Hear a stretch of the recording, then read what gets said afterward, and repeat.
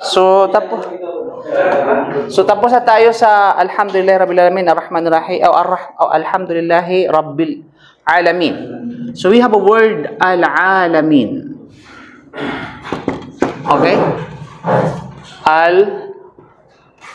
Al-Alamin. Now, hmm. ano ang root word ng Al-Alamin? Basically, ang alamin sa ano, ang tinutukoy dito ay alam. ang alamin, ano ibig sabihin ng alamin? Ha? Anong ganyan? Part? okay, ibig sabihin ay lahat ng nilikha. Okay, lahat ng nilikha. Kaya makikita nyo dito, yung tinatawag na ya at sa kanun, actually, sa grammar, ang ya at sa kanun na yan, it's, uh, it signifies the uh, animate object. Animate bang tawag dyan? Yung may, may buhay, yung akil, yung may isip. No? Animate object yan. Kasi kapag sa Arabic kasi, kapag inanimate, ay hindi siya tumatanggap ng ya at sa kanun. Yes, halimbawa, kalam, hindi mo pwede sabihin kalamin. Okay, o kalamun, hindi pwede yon. Ang ya at sa kanon, ang wow at sa kanon, lahat ng ito ay para sa tinatawag na akil, may kaisipan, at para, yes, para sa tinatawag na animate object.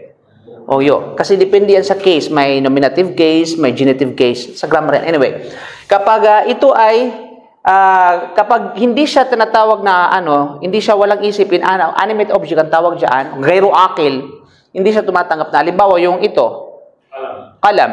Diba? Kalam, yun pwedeng kalamin, kalamun. Kasi nga, ito ay inanimate object. Okay? So therefore, basically, ang ya at sa kanon, ang waw at sa kanon, hindi pwedeng applicable ito pag pinag-usapan natin ng plural. Kasi ito, ito, plural form man yan. Plural. Pag sinabing plural, pang maramihan. Right? So, alimbawa, muslimin, muslimun. Diba? Mu'minin, mu'minun. Ganun yan. Kafirun, kafirin. Mushrikun, mushrikin. So, lahat ito ay tumutukoy sa tinatawag na ano. Okay? Na kung kasubalit, ang, ang, ang, ang ano dito, kasi plural form kasi yan eh.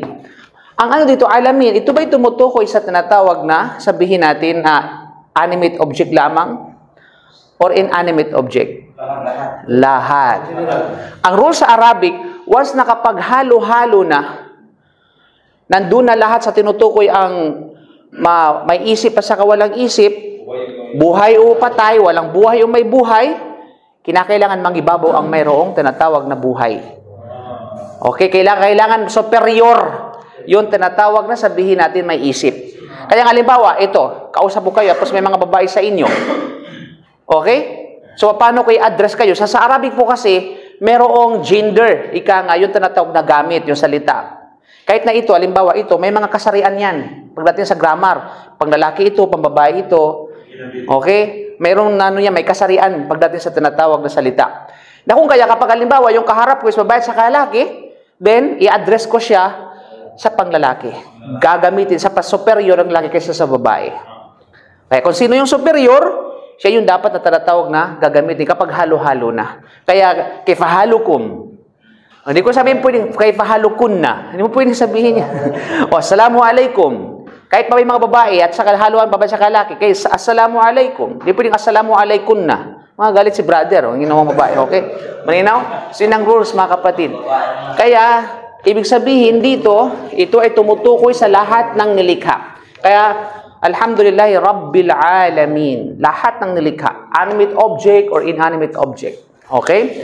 So, malinaw? No, ang tanong dito, ano yung masdar? Ano yung root word ng Al-Alamin? Yes. Root word. Lagi natin sinasabi na kapag root word na pinag-uusapan, tatlo, base form. Tatlong, sa, tatlong letra.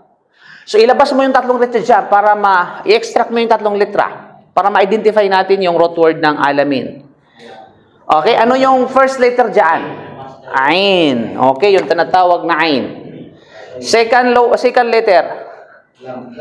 La. Mashallah, tabarakallah. Okay, third letter? Mim. Yun po yung base form ng alamin. Ito yung salitang tinatawag na sabihin natin, salitang ugat. Alam. Oh yes, alam alam na this. Okay? so itong alif at saka lam, extra lang yan. Ito is alif at lam. Maarifa po yan. Ibig sabihin ay for for definite noun. Okay? Ay ibig sabihin, yung ya at saka nun, extra din po yan. Ito yung mga sabi natin na ah, anong tawag dyan, no? Anong ah, prefix at saka suffix. Okay? So prefix, suffix. Malinaw? Subalit, ang tinatawag na root word is alam. Okay? Alamun. Alamun yan. Okay, alamun. Second question, ang alamun. Di ba mayroon tayong tatlong mundo? Sa umpisa, dinidiscuss ko itong tatlong mundo ito. Mundo ng isim, noun. Mundo ng verb. Mundo ng fi'il. At saka mundo ng harf. Ang tanong, saan sa tatlong mundo ang alamun? Ism. Okay, ang man, mundo ng tinatawag na noun. Okay, or ism. Bakit mo nasasabing mundo ng ism? Mo sa Ah? kanika. Isang nilikha. Okay. Kasi dahil sa kahulugan. Pero pag, pag, paano pag hindi mo alam ang kahulugan? Paano mo identify na ito ay noun? Pag hindi siya... Ah? Okay. Sige, sino makapag-volunteer? Kapag hindi mo alam ang kahulugan ng isang salita, how do you recognize that it is a noun or not?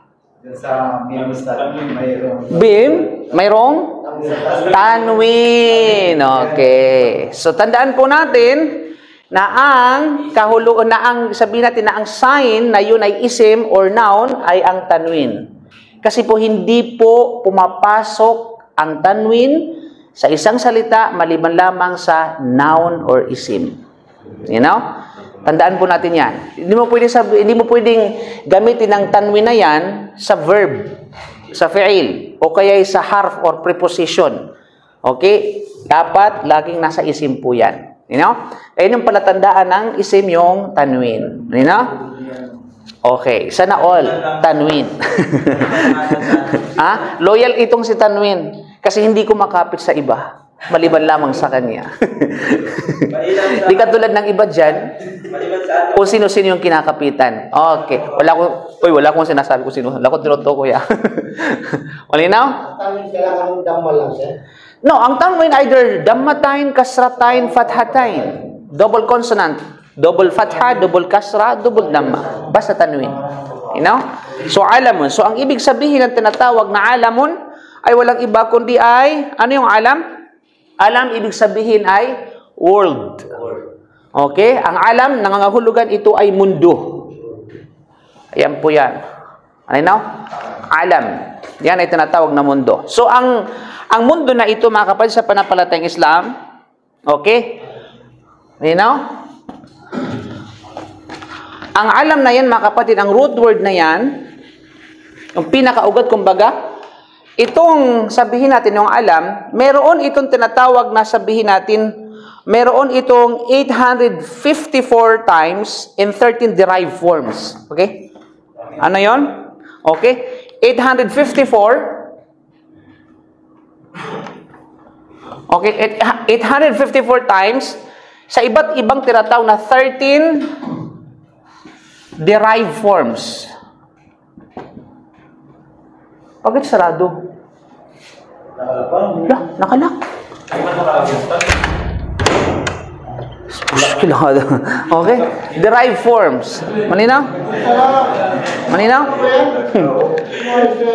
So, ibig sabihin, 854 na paulit-ulit na binabanggit sa banal na Quran, ang silitang tinatawag na alam sa pamamagitan ng labing tatlong derived forms. Labing tatlong tinatawag na, ah, sabihin natin, pinaggagamitan. Okay? Labing na. So, meron tayong labing tatlong pinaggagamitan ng alam. Okay? Halimbawa, alama. Okay? Either yata'allam, alama, o alima. So, mapapansin natin yan. So, mahalaga dito, so, meron kang 854 na sa paulit-ulit sa banal na Quran. Okay? Yung salitang ito, subalit, ginagamit sa iba't ibang pamamaraan.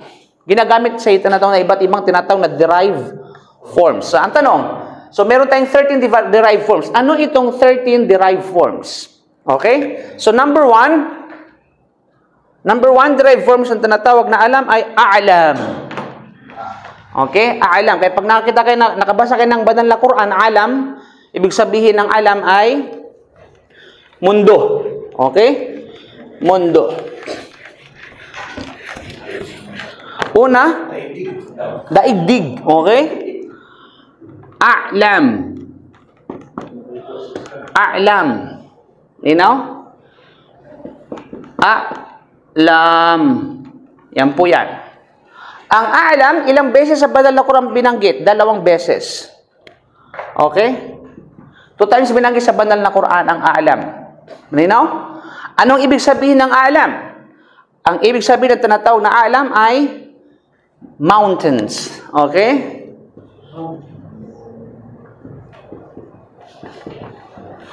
Mountains. Depende pa paano mo siya bigkasin. Either British accent or Australian accent or English standard accent. Ah?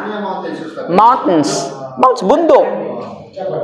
Another term ng Jabal, okay, kasi ang Jabal, Jibal. Pag plural form, Jibal. Pag singular, Jabal. Another synonymous ng tinatawag na Jabal ay o Jibal, A'lam. Okay, plural form yan. Marami yan. Sa, sa- dalawang beses siyang binanggit sa banal na Quran. A'lam, kal-a'lam.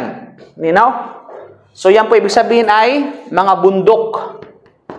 Okay, mga bundok. So sa banal na Quran, pag ah, na ibig sabihin, nadaanan yung word na ito, a'lam, nangangahulugan ay mga bundok.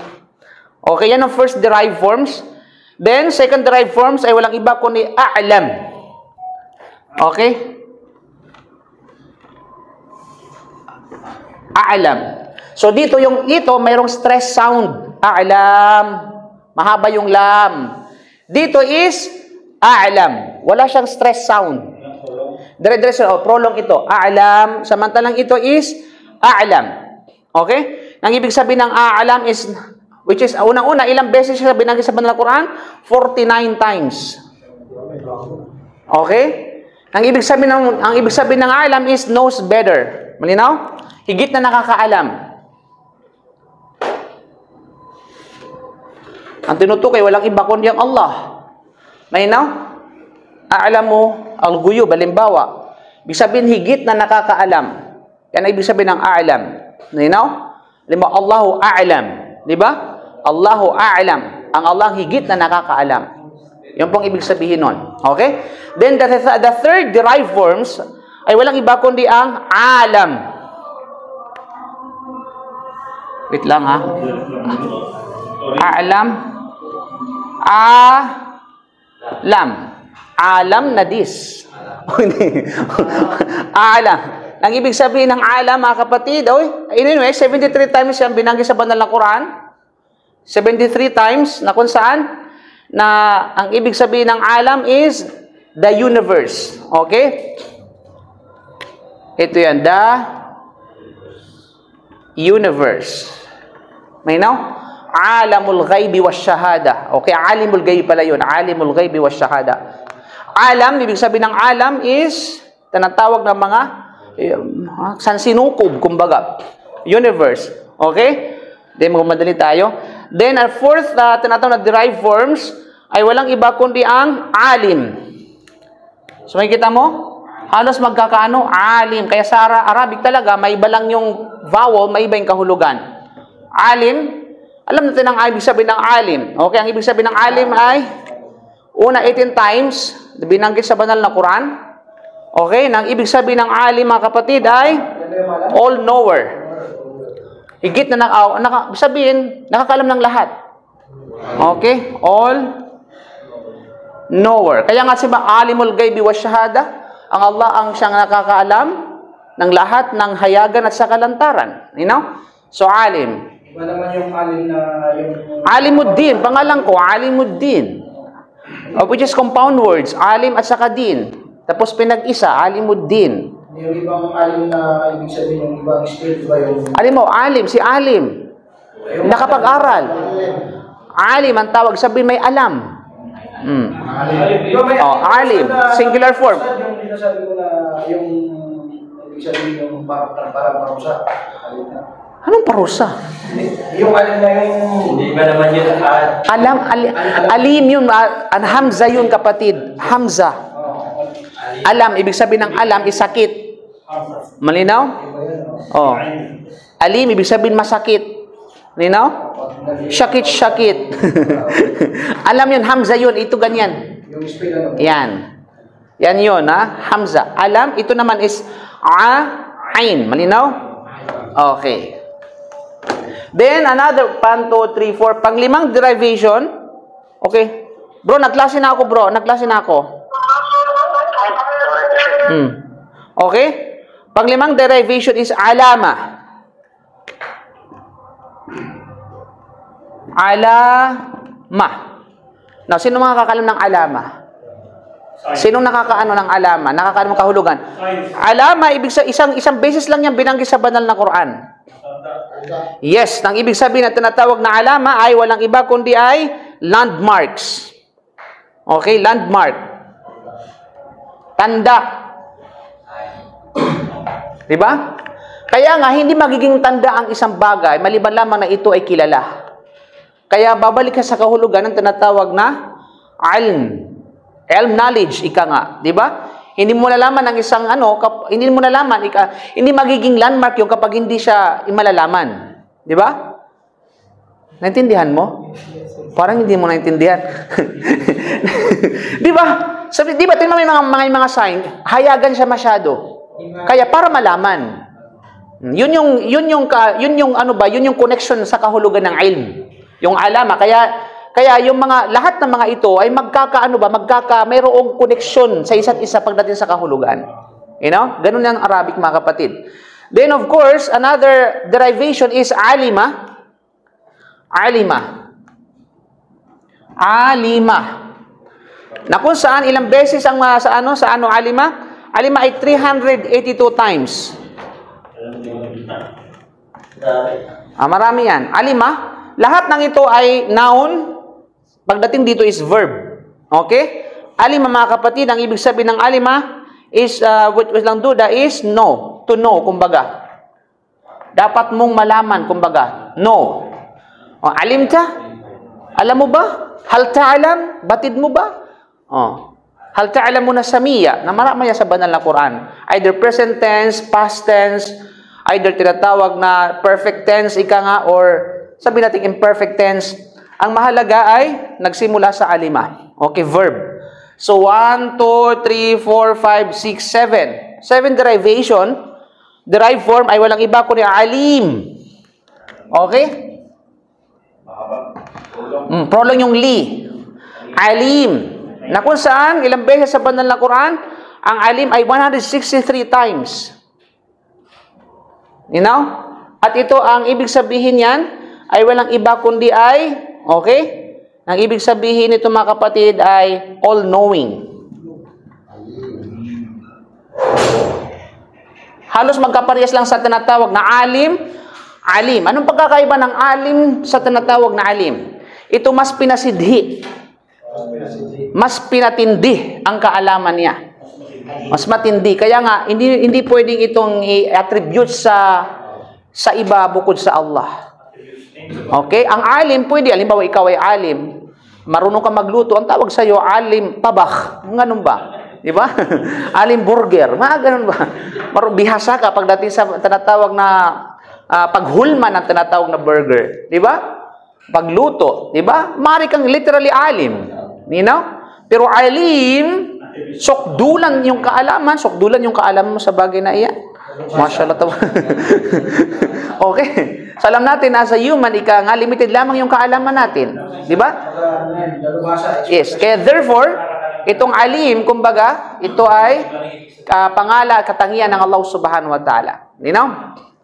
Alimum bidatis sudur. You know? Ang Allah subhanahu wa ta'ala, ang higit na nakaalam. Sukdulang nakakaalam ng puso ng tao. At yung pinakasekreto ng tao, walang nakakaalam, maliban lamang sa Allah, ay ang sekreto ng tao na nasa puso na naitago sa kanyang puso. Mayinaw? Okay, ilan na ba? So, pito na. So, another driver siya, mayroon tayong alam. Okay? Pero mo, nagkakaiba-iba lang sa stress kung saan banda. Di ba? Di ba 13 yan? Alam. Alam na this. Alam. Na kung saan, ilang beses sa banal na Quran, binangit, binangit ito four times. Nang ibig sabihin ng alam, mga kapatid sa panampalatayang Islam, ay knower. Okay? Halos magkaano lang. Depende yan sa tinatawag na pinaggagamitan. You know? So knower or knower, parehas, di wala problema. Of course, ano we have is allama. Allama. Na kung saan sa banal na Quran, binanggit is 41 times. Okay? Nang ibig sabihin ng allama, mga kapatid, is ito ay past tense na kung saan ay, okay, he taught. Ibig sabihin ay, allama, ibig sabihin nagturo. You know? Nagturo. Iba, alam to ka. Tinuruan kita. Okay? Ar-rajulu allama hada rajul. Sabihin, ang lalaki na ito tinuruan ang isang lalaki. So lahat ito ay tinatawag na past tense. Anyway, mag- mamadali tayo. Then we have word ilm. Of course, ano? yung ilm, nun niya sa atin yan. Na kung saan yung ilm, ilang beses sa banal na Quran, ang ilm ay 105 times. Na kung saan is knowledge ang ibig sabihin nito. Elmo, kaalam, kaalaman, kumbaga. Either masamang kaalaman o, okay, totoong kaalaman. We have a word, ma'alum. Ma'alum, ya akhi? Ma'alum, ya sadik? Di ba narinig niyo yan sa salitang kanto? Ano mafi ma'alum? Di ba? Doon ginamit yon ma'alum. Okay? Yan ang ginamit, ma'alum. Ma'lum. Nang, na kung saan sa banal na Quran, 13 times binanggit ito. Okay? Dan ang ibig sabihin ng ma'lum, walang iba kundi ay known, kumbaga. You know? It is known. Okay? Na ibig sabihin, well known. Well known, ma'lum, kilala, kumbaga, kilala. Tapos ay bantog. And then last, ano, meron pang dalawa, muallam. Muallam. Ang ibig sabihin ng muallam, ah, of course, isang beses lang siya sa banal na Quran. Okay? Ang ibig sabihin ay tinatawag na one-toth. Ika nga, okay? Tinuruan. Sa ano, sa Tagalog, tinuruan anta muallam. Ana muallim, anta muallam. Ako ang nagturo, ikaw ang tinuruan. Okay? Muallam. Muallam. Last but not the least, ay walang tinatawag na yata'amma, yata'allam. Yata, yata'allam. Yata'allam mo, ito ay tinatawag na, sabihin natin, no? Yata'allama. Ito ay, ah, okay, ito ay dalawang beses sa banal na Quran. Nang ibig sabihin ay, the learn. Ika nga, okay? Or the or he learn. Nagtuto siya, binag, ano, sasaliksik siya, nag-aaral siya. Yan ang ibig sabihin. Okay mga kapatid, so that's for it sa ating tinatawag na Arabic ah, Unlocked. Then after ng sala is ah, ating pag-aaral nito. So Allahu alam bisawab. So kami hamdik anta astaghfiruka wa atubu ilaik. Assalamu alaikum warahmatullahi wabarakatuh.